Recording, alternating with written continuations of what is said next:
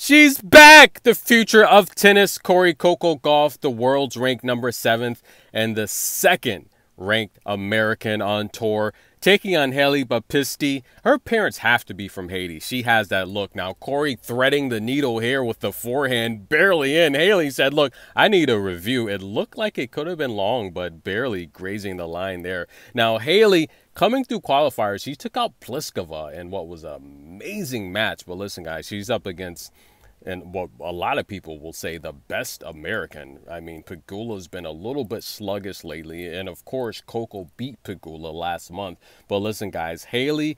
if I'm not mistaken, guys, correct me in the comments. I think she's like Paula Badosa, where she's left-handed but plays right-handed, right? Correct me if, and I'm pretty sure. I I thought for a while Kudermetova was like that as well. Uh, but I think Kudermetova, she's she just plays with both hands. She's just that good.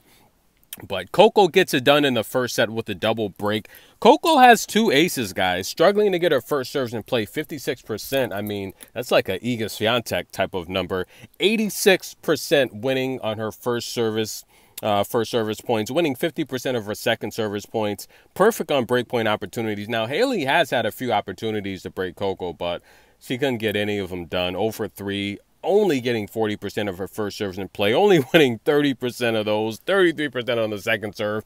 Coco's is too fast and athletic, guys. Now, a lot of people forget Coco did win a championship this year. Yes, that's right. She started the year off winning Auckland. And look, she took off some pretty solid competition. Tatiana Maria, who's just amazing spin, good defensive player.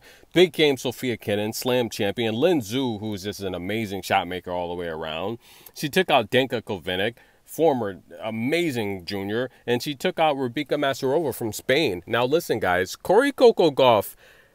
is she going to win the tournament? Now, I did the poll. A lot of people seem to think that uh, other players could win. Now, I can only add so many uh, faces there, which is why I picked, you know, the top four players there. But a lot of people think Jennifer Brady might win. Now, listen, I'm a huge Jennifer Brady fan. Remember, she made the finals there against Osaka at the Australian Open. Now, later in that year, uh, she would actually get a bagel from Coco and she would get injured. So Coco, before the injury, was the last person she played. in. uh, was that the French Open, if I'm not mistaken? Coco destroyed Jennifer Brady. Now, th- this should put in perspective how good Coco is. She's really good, but I do think, look, just watching her for so long, she's changed her game. She used to be a lot more strategic, much more tactical.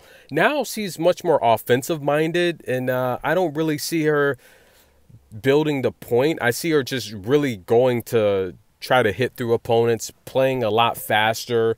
I would love to see her slow down a little bit, uh, use her IQ. She's a very intelligent tennis player, and just watching her come up, she was a lot more strategic. Uh, I just think as she's getting older, she's putting on muscle. She wants to hit through people, but that's not a good recipe. Uh, if, if Coco can just go back to how she used to play, we'll see. She's got a new coach, and I think she's got a chance to win this tournament. Let's just be honest with you. And I think she's got a chance to win the U.S. Open. Yeah, she's Coco's one of the favorites to win the U.S. Open. If I if I'm not mistaken, she's uh one of the top five players they're picking to win the U.S. Open. Of course, uh, defending champion Iga Swiatek's number one, and then uh, two I want to say is uh, Sabalenka, Elena, Ons Jabeur, then Coco, something like that. But listen, guys, let's head back to D.C. Coco takes the first set six one. How bad is the second set going to be? Can Hailey make this a match? Because right now, Coco's popping out some fresh fruit, and that's not a good sign. She's getting out those electrolytes in her system. She might run off a bagel. Stay tuned.